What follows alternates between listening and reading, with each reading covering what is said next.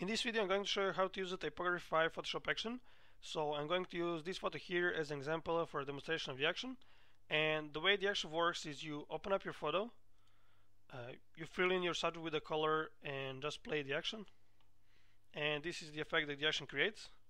Right, so as you can see everything except your subject or actually the everything outside of the area you have brushed will be turned uh, into typography and you can choose from 90 different uh, typography uh, patterns. Okay? So after I finish with this example I'm going to demonstrate the action on, on this example as well. So I'm going to create from this photo this effect. And then after I finish with this example I'm going to demonstrate uh, the action on one more example that is this one here. So I'm going to uh, create from this photo this effect. So as you can see you can also turn the whole photo into the typography effect. Alright so just uh, gonna close these windows.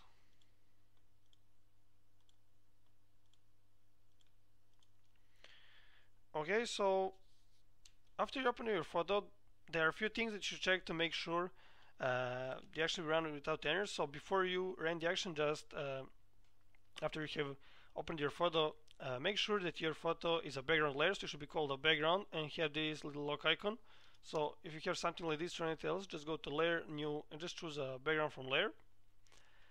Then just click on this menu icon here and go to panel options and just make sure you got this option here checked. Alright? And go to image mode. Uh, your photo should be in RGB color mode 8-bit channel and check the image size over here. So you should use high resolution images and uh, for best results you should use the photos that are around from 20 3500 uh, pixels wide or high. And just keep in mind that as your photo is smaller the the typography text will appear uh, uh bigger. And also if you're using uh, larger photos the typography will, will appear smaller right? But you can change the, the uh, also you can change the, the size of the uh, typography pattern right? So now just go to layer new and choose a uh, layer to create a new layer. And just name it this layer brush and it's very important that you write the where the brush exactly like this all letters lowercase because otherwise the action won't work just click OK. And now just you can just hit B on your keyboard to select the brush tool. And uh, choose any color here color doesn't matter right? And just fill in your subject with the colors you can do it on this way by brushing right?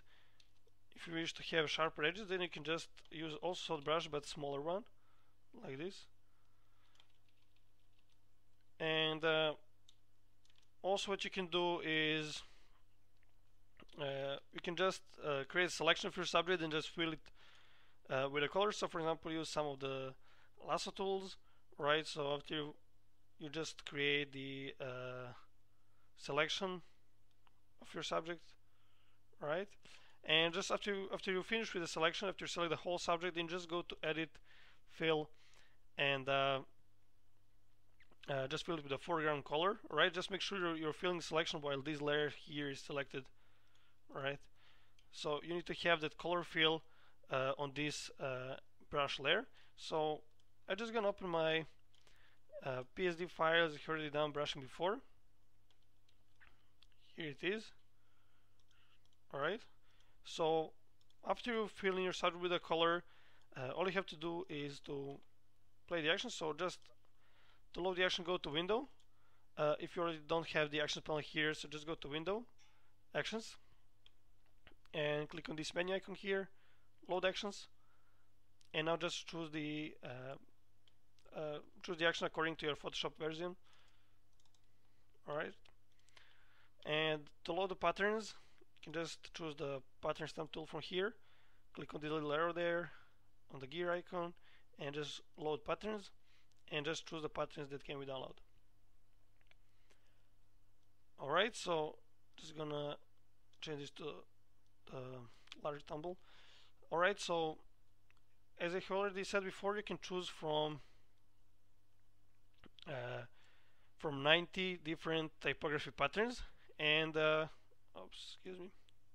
So uh, we have the uh, nine uh, different layout styles right and all that uh, nine uh, different layout styles in 10 different fonts right so here in the first row you can choose the patterns that are horizontal layout in their in 10 different fonts right so here we got the this one here are the vertical uh, vertical layout patterns alright with the also in 10 different fonts.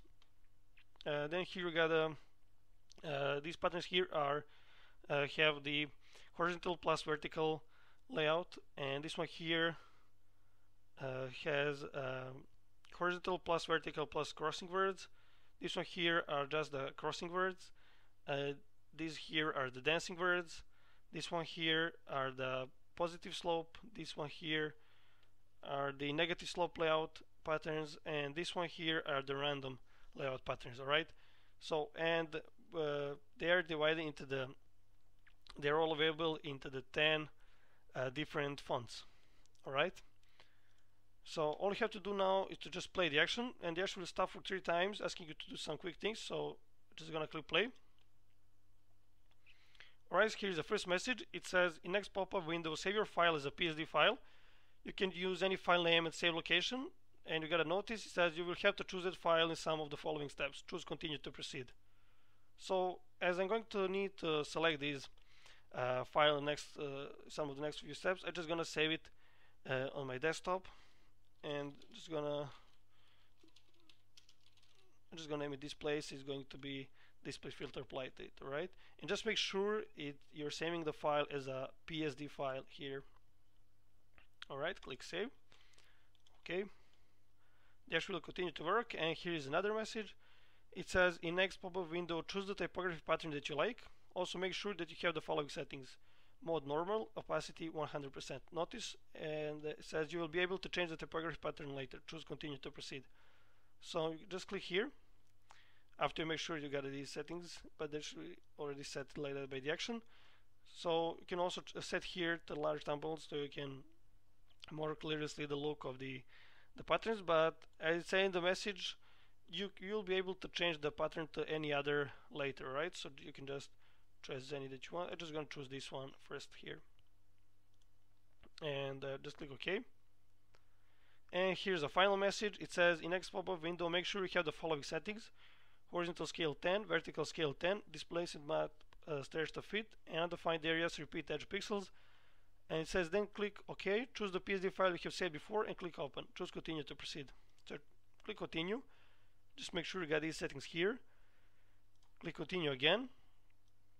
Uh, okay, and uh, uh, here all you have to do is to just select the file, the PSD file that you saved uh, before, right? So this one here and after you click open the action will continue to work. So I'm going to fasten the video here uh, and get back as soon as the action is finished. And then I'm going to go throughout all the layers to show you how can you uh, how each layer works and how can you customize them to uh, to get most of the effect right? Okay so the action here just finished so just gonna close the actions panel. And uh, just gonna expand a little bit this layers panel here like this. Okay so the first layer we got here is the brush layer that I made at the beginning of the video. And uh, why you got this layer here is for the case if you wish, for example, to just modify, you wish to add some more areas into this brush area. So you don't have to brush all areas that you would uh, brush again. Right, for example, you just wish to add some more areas, but you wish to, to have all these what you have brushed again. You don't have to repeat the step and brush all over these areas. You can just pick a brush tool and you can brush with any color. You don't have to brush with the same color. And for example you add some more areas into this brush like this. You just delete this folder and you can just play the action again right? Or if you wish to remove some areas of, of your brush uh, layer right? For example you just wish to uh, remove the uh, turn more areas into typography so you just want to wish to remove some more areas like this for example.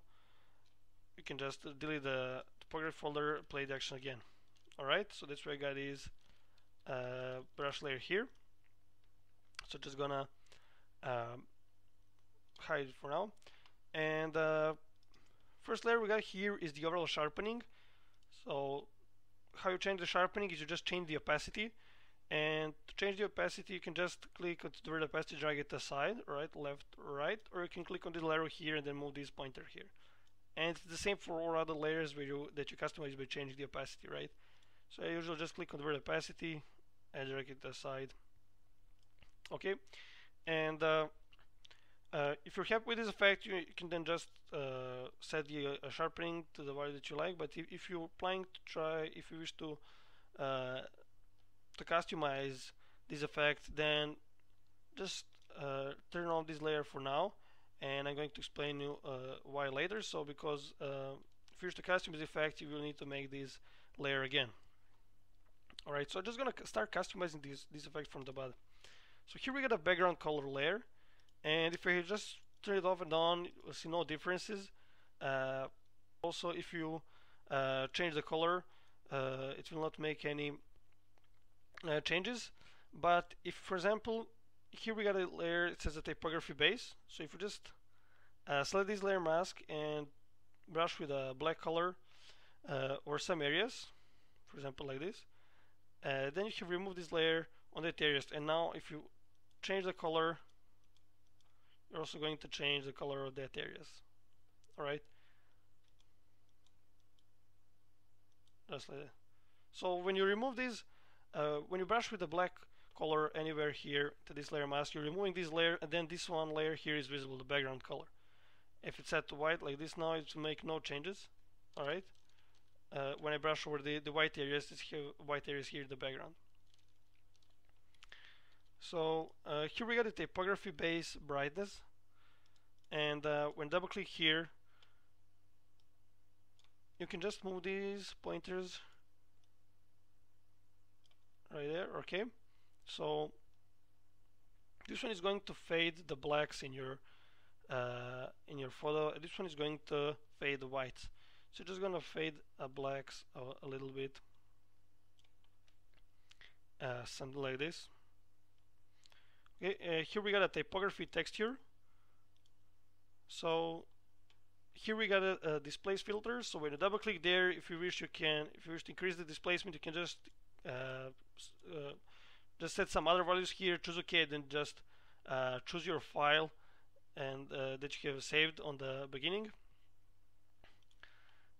Uh, and if you wish to change this typography text, you can just double click here and you will get your uh, texture into into uh, another window. So and here what you can do is you can create a new layer and press shift uh, and a plus F5 on your keyboard. And just, just choose the any other pattern that you like. For example choose like this one here click OK and after that when you just press control or command uh, for Mac uh, plus S for to save your file it's going to be automatically updated here right as you can see. And uh, if you wish to use your previous uh, texture you can then just delete this layer or hide it and then just press control command plus S again to save your file and get back to its uh, that uh, pattern that you chose on the on the beginning. Alright and here we got a typography texture brightness. So when you double click here uh, you can just move these three pointers to change the brightness uh, of the typography.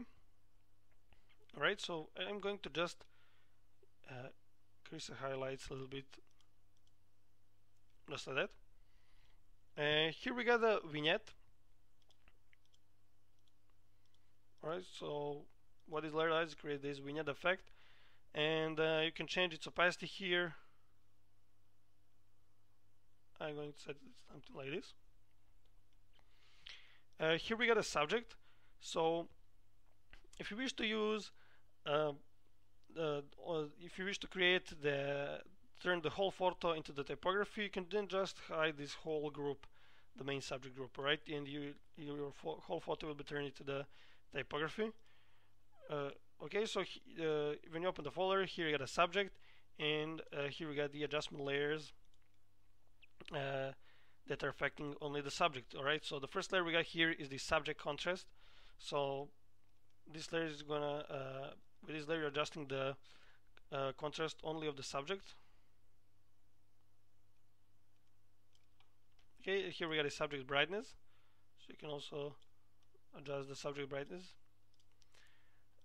I'm just gonna keep it default. And here we got a subject color so when you double click here.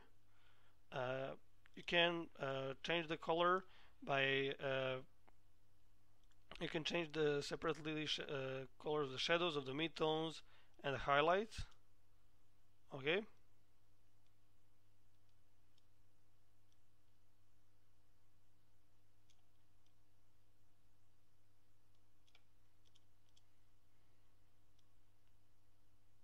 gonna set it to something like this I'm gonna increase this one there and just gonna adjust the highlights.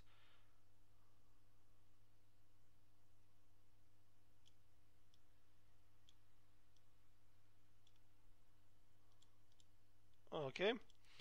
And here we got the subject saturation so when you double click here you can change the saturation of subject if you wish you can create a black and white effect. If you just set this uh, if you just uh, remove the saturation. And uh, I'm just going to increase the saturation in example something like this. Okay? And just going to get back here and uh, uh, to show you one more thing. So if you wish to transform this type of, you can just press Ctrl Command T on your keyboard.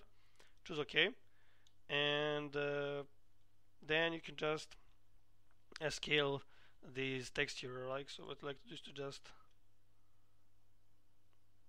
scale like this right so just click on this here to, to, keep the proportions and then just click onto the uh, W here and you can just increase the, the size alright? I'm just to increase it just slightly just like this and after that the displace filter will be uh, applied again right and what we got here is the overall contrast. So this one uh, uh, this layer here uh, is uh, giving a contrast to the whole photo of both typography and the subject.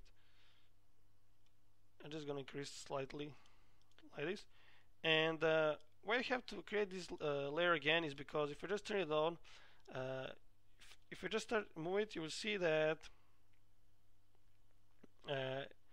all the lines that this layer has are they're giving the sharpen that are the edges uh, of the, the, the, photo and they're giving the, uh, the sharpening right? But when you make some changes here this layer and that edges have to be updated again right? For example you transform this texture or you choose some other uh, you change the texture. So that's why you have to make this layer again. So just just gonna delete it.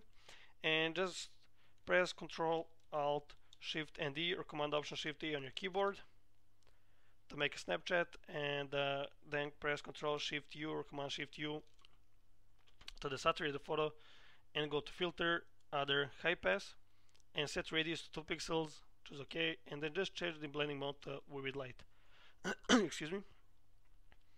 And you can then uh, change the opacity and change the sharpening that way also I'm going to do just one more thing here.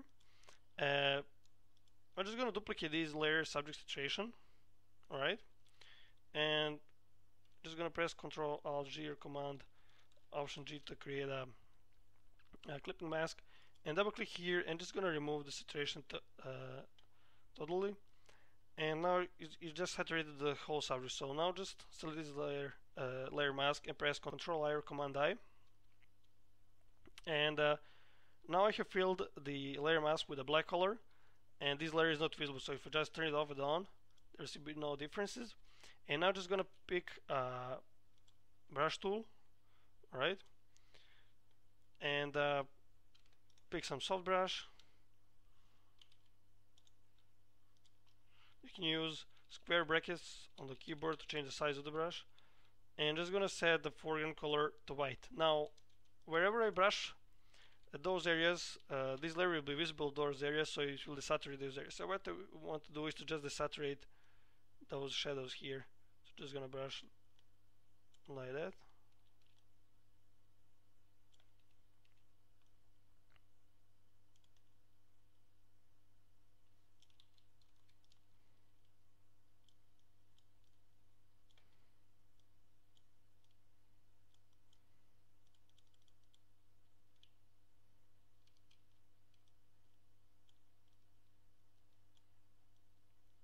Okay.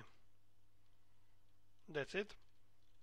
So just quickly check before and after. So this is the before and this is the after effect. Okay so just gonna close this window now. Just gonna close this texture and just gonna open the second example here. Uh, here I've already done the brushing. So after you open the photo uh, check all the things I have, I have mentioned at the beginning of the video I have made a, a brush layer. All I have to do now is to just play the action. So just gonna uh, click play and I'm going to fasten the video here uh, through all the messages as I have already uh, showed that before. So I'm going to get back as soon as the action is finished and then going to uh, customize the effect that they got. Okay so the action here just finished so just gonna close the action panel again. And uh, I'm gonna hide this layer again because I want to customize this effect. Okay and I'm gonna start customizing it from the bottom. Again so here just gonna change the um, typography base brightness right? So double click here. And uh, just gonna drop the shadows to reveal the details the typography in the background. And uh, just like that. All right and now just gonna I'm just gonna keep these uh, typography text. So just gonna move to the next layer. And just gonna double, double click here. And uh, just gonna increase the highlights.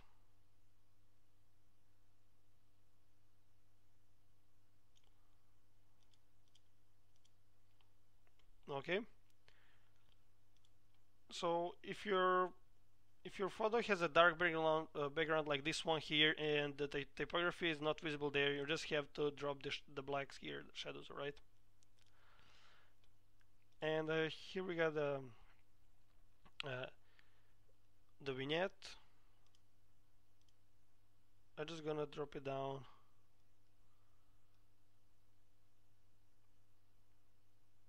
Something like this.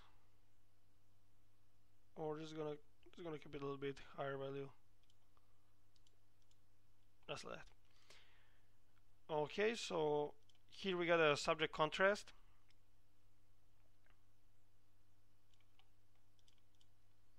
So just gonna increase the contrast a little bit. And I'm just gonna uh, adjust the brightness.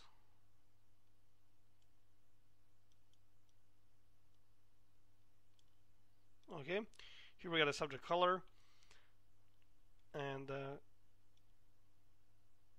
just gonna set it to something like this.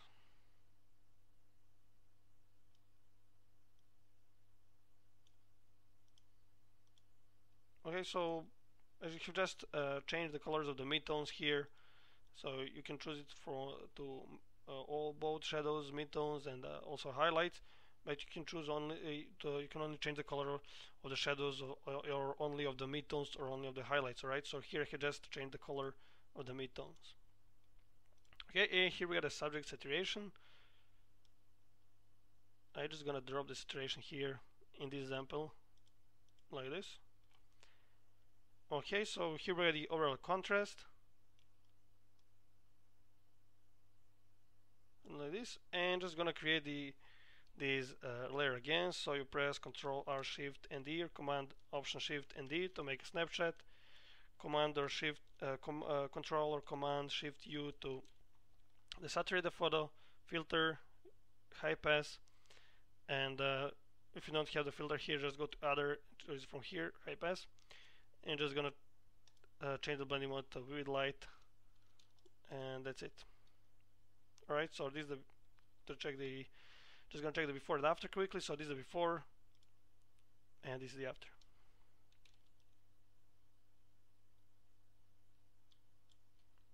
Okay. And the final example here. So if you wish to turn uh, the whole photo uh, into the typography, you don't uh, have to brush over your subject, alright? So if you already did brush over your subject, play the action as I have demonstrated before, you can then just hide the, the subject uh, folder and you will uh, have your photo turned into the typography. But if you uh, wish to turn uh, you uh, uh, the whole photo into typography you don't have to brush over your subject right? all you have to do is to after you create a new layer here name it brush all you have to do is to you can just make some you still need to have uh, the brush layer and some uh, to brush over photo but you can just make some scribble like this alright it doesn't matter because you're going to hide the layer alright so you do it just like that and just play the exercise, going to fasten the video here again and get back as soon as the action is finished.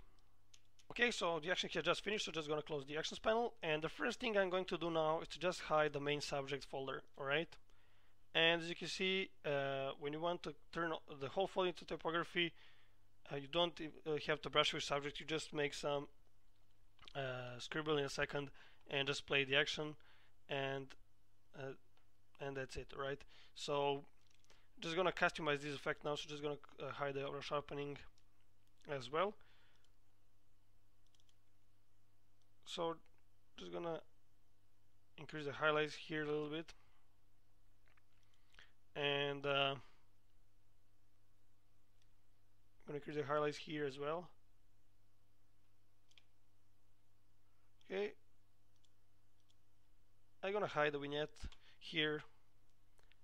So and just gonna uh, increase the contrast like this.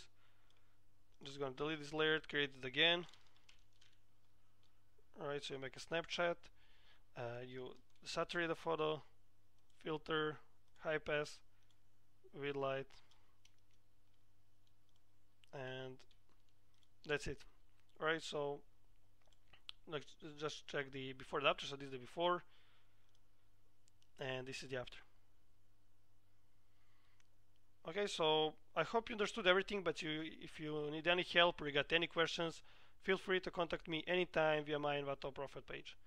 Thanks for watching